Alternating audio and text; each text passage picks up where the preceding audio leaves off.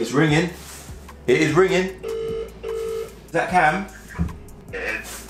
Cam is Calvin from, uh, where, where is Probably known you from YouTube, I suppose. No way. Yeah, you're right, yeah? So you, you've won the G, the G Wiz.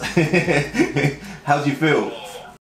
Today's a Monday, and it is a sad day. It's not sad because it's a Monday, it's sad because today is a day that I'm parting with the G Wiz. Over the last few weeks, I've had some great times with this car, and I'm not gonna lie, I'm feeling a little bit emotional. Because on Friday just gone, I announced the winner of the G Wiz, a subscriber of mine, Cam, from Halifax. Hold on a minute, I've got a message from Cam. He's decided he doesn't want to keep the car. Hmm.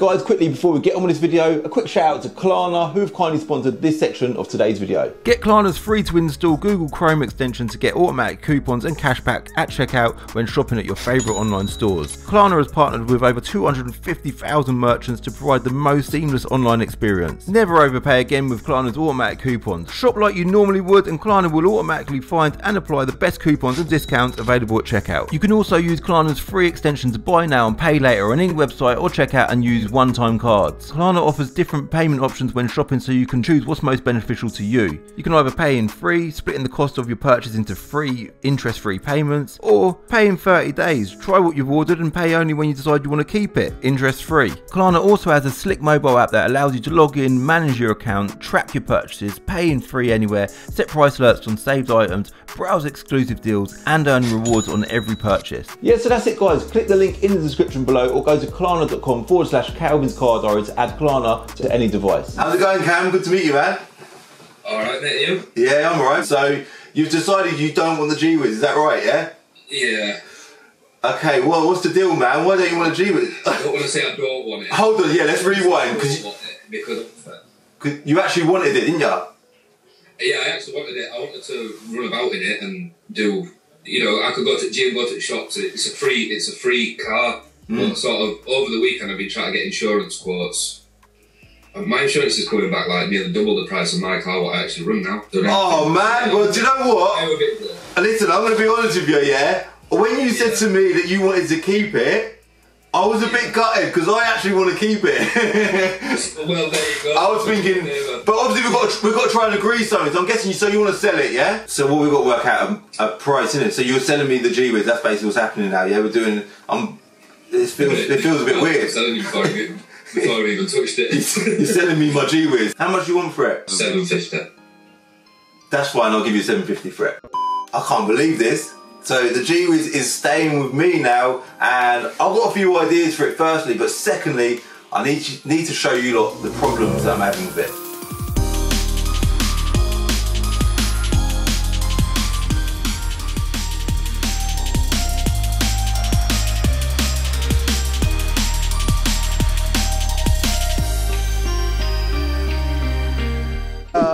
Then guys, my new G, I say new G-Wiz, it ain't my new G-Wiz, it was already mine, kind of, but it was Cam's for a little bit, but yeah, a bit of a confusing situation. Shout out to Cam for selling me the car back, because one, it was an absolute bargain at 750 quid, and two, I genuinely do want to hang on to this car because the previous video has done really well, everyone seems to love the G-Wiz, and I'm actually quite excited about doing a bit more content on it. I've got a few ideas for it, not to say that I can make them happen, because I still need to do a bit of research, but do let me know in the comments below what you think I should do with it. I will give you some hinters uh, in a sec, but we're gonna go for a little wander around it before we do that, all right? So, uh, funny enough, last night I was uh, watching Fifth Gear on telly, right? And this exact car was on fifth gear last night. I'll try and put a screen recording over uh, over the video now. Rory Reid done a little uh, like an electric car comparison, and this exact car, LK06 JXO, was in an episode of Fifth Gear. So this car's a famous car. It's not just famous on YouTube; it is also famous on telly as well. Let's quickly talk about the ideas I've got for it now. Yeah.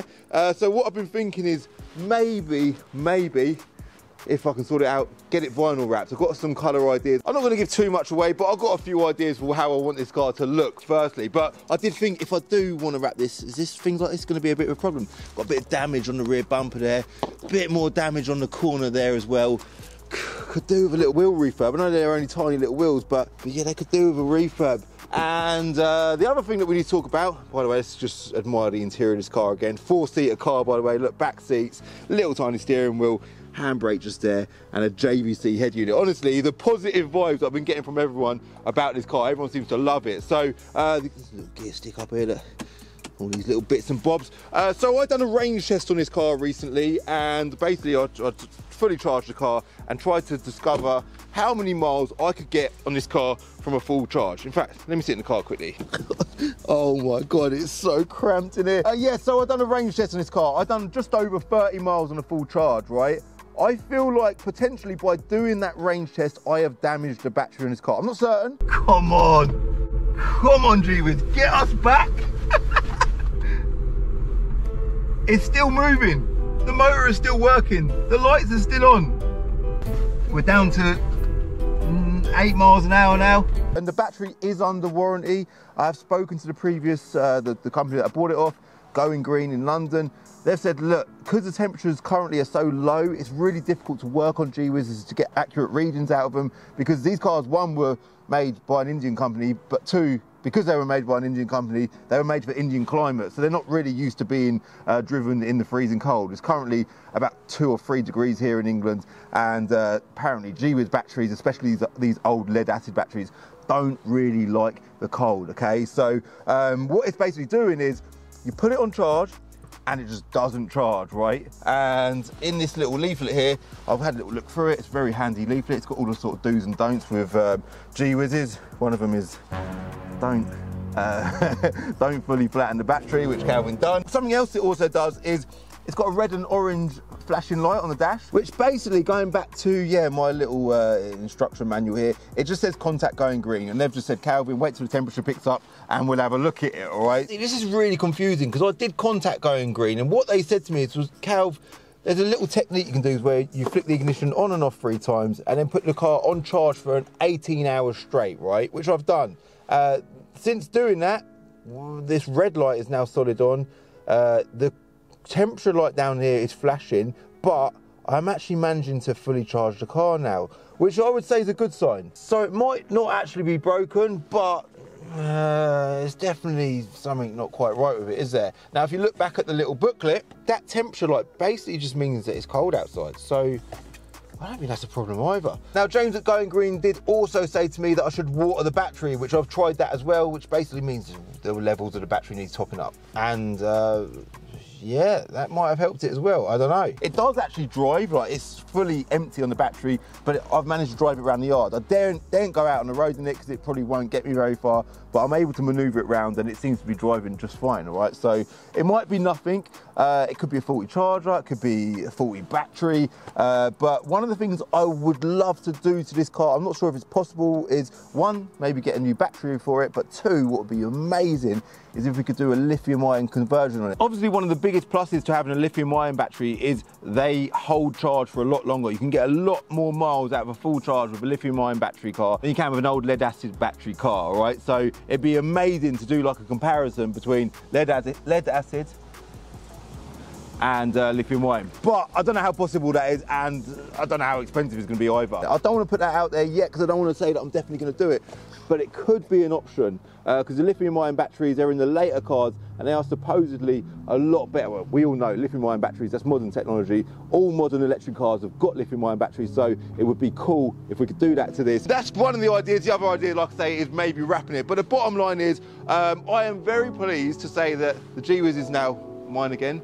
I am not giving it away. I might do it at some point in time, but right now it's not getting given away for free. I'm going to hang on to it for now. Please let me know in the comments below if you've got any ideas for this car because I am all ears.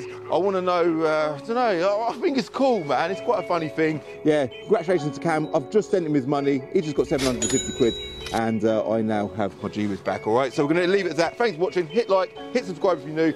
Give me a follow on Instagram and see you in the next video. Bye.